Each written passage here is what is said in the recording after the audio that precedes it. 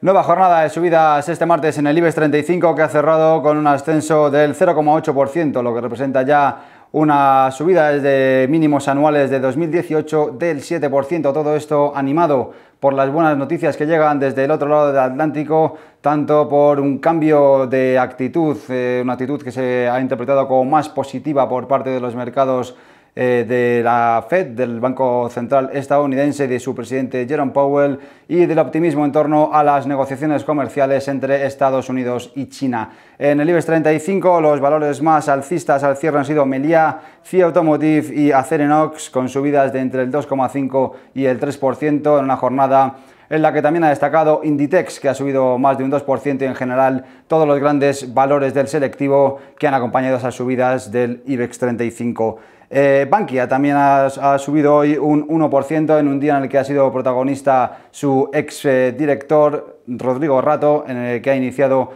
ese juicio por la salida a bolsa de la entidad. En el lado negativo, Mediaset, Iberdrola y Celnex han sido los tres valores más bajistas en una jornada en la que prácticamente no ha habido valores en rojo y en la que en cualquier caso han registrado bajadas bastante moderadas. En Europa, casi todas las grandes bolsas también han cerrado en verde y Wall Street a estas horas continúa con las subidas protagonizadas ayer y la pasada semana. Ya digo, todo esto animado por las noticias que hay en torno a esas negociaciones comerciales que han comenzado ayer mismo en Pekín entre Estados Unidos y China para tratar de resolver ese conflicto comercial que tienen ambos países y también ese cambio de tono por parte de Jerome Powell que está animando a los mercados. Amazon se convirtió ayer además en la eh, empresa con mayor capitalización bursátil del mundo tras cerrar con una subida del 3% en Wall Street, superando a Microsoft y toda la atención estará puesta hoy ya al cierre del mercado en las declaraciones que hará el presidente Donald Trump en la frontera entre Estados Unidos y México,